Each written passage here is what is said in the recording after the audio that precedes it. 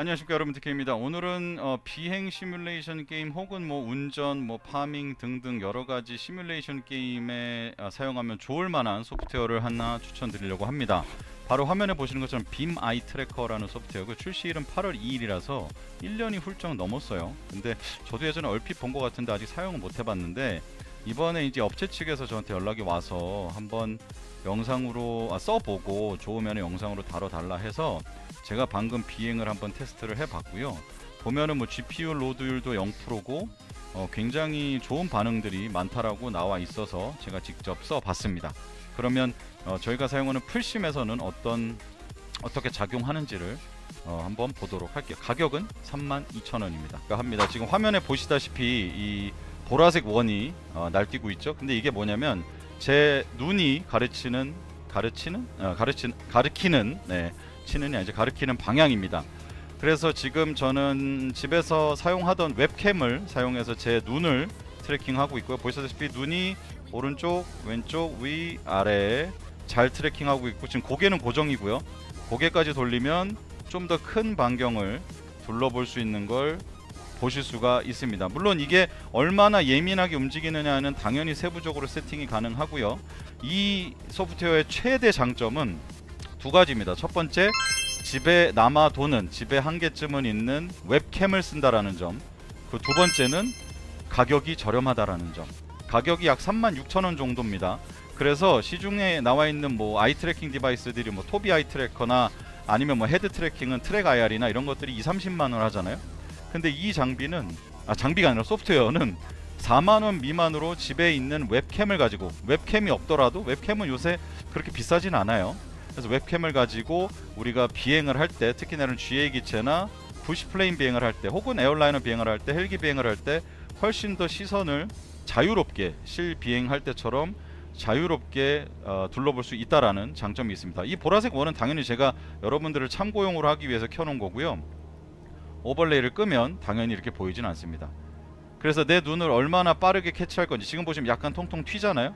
이런 부분은 세팅에서 충분히 설정으로 해서 추적하는 눈도 선택, 선택 가능하고 시선 필터링을 따라서 어, 서, 좀 올려놓으면 굉, 머리는 사실은 조금 느, 좀 빠르게 될 것 같아요.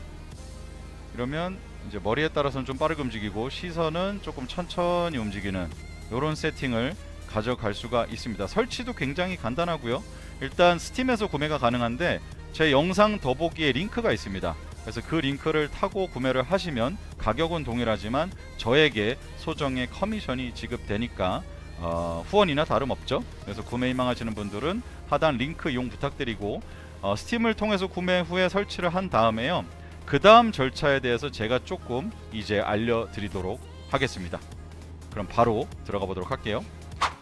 자 Eye Tracker를 설치를 하셨다면 하단에 이렇게 실행이 되고 있을 겁니다. 여기서 하실 건 뭐냐면 우선은 보정을 한번 하셔야 됩니다. 보정은 이렇게 소프트웨어를 키고 눈을 이 점을 본 다음에 클릭 그 눈만 돌려서 클릭 눈만 돌려서 클릭 눈만 돌려서 클릭 눈만 돌려서 클릭. 헤드까지 돌릴 필요 없어요. 완료됐죠? 그럼 보정이 완료된 겁니다. 엄청 간단해요. 그 다음에 게임 확장 기능을 활성화 시켜 줍니다. 그런 다음에 어, 사전에 소프트웨어를 하나 다운받으셔야 되는데 OpenTrack이라고 있습니다 제가 이 프로그램도 영상 더보기 링크에 넣어 놓을 텐데요 이 소프트웨어를 실행을 하면 기본적으로 이 상태인데 여기서 프로필을 새로 하나 만듭니다. 그래서 뭐 이름을 Beam 뭐 Eye 테스트라고 한 다음에 여기 인풋에서는 어, Eyeware Beam 선택하시면 되고요. 네 여기 FreeTrack 놔두시고 스타트 누르면 이제 저희의 머리와 눈을 tracking하기 시작합니다. 그러면 이제 다시 게임 돌아가서 보면 이렇게 움직임 볼 수 있죠 근데 지금 이 움직임이 뭔가 약간 부자연스럽고 조금 빠르고 약간 불편하다 그러면 여기 아까 마, 말씀드린 세팅에 들어가서 요런 머리 추적 필터링 시선 필터링을 조금씩 수정을 하시면 돼요 여기 보시면 선호도에 맞게 부드럽고 안정을 시키기 위해 조정합니다. 값이 높을수록 더 부드러워지지만 대기 시간이 증가할 수 있습니다. 그래서 눈은 약간 느리게 왜냐면 뭐 저희의 눈이 돌아가는 속도가 굉장히 빠르거든요. 그래서 시선을 좀 높이고 헤드는 좀 낮춰놓으면 될 것 같아요. 게임 확장기는 활성화되어 있고요. 나머지는 뭐 전 그대로 쓰고 있습니다. 그래서 이제 보면 다시 보면 예, 시선은 지금 눈만 돌리고 있는데 시선은 조금 반응이 일부러 느리게 해놨고요. 고개까지 돌리면 조금 더 넓은 반경을 볼 수가 있습니다. 아 한 가지 더 말씀드리자면 제가 저는 그 어, 이렇게 되네 머리 돌리면? 예. 저는 그 트랙 IR도 있잖아요. 트랙 IR이 일정 범위를 벗어나면 이게 획가닥 돌아가거나 그러는데 이건 웹캠으로 잡는 거기 때문에 그 부분은 훨씬 더 안정적인 것 같아요. 구매할 때 참고하시기 바랍니다. 여러분들 비행에 훨씬 더 큰 재미가 되었으면 좋겠고요 영상이 유익하셨다면 구독과 좋아요 부탁드리고 어, 이 푸- 소프트웨어 구매는 다시 말씀드리지만 영상 더보기에 저의 고유 링크가 있습니다. 그래서 그 링크를 따라서 어, 구매를 하시면 저에게 소정의 수고료가 지급되기 때문에 저희 채널의 후원이나 다름 없습니다. 궁금한 사항은 댓글로 남겨주시고요. 저는 아마 다음 방송 때 이 소프트웨어를 쓰면서 비행을 할 것 같습니다. 감사합니다. 안녕히 계십시오.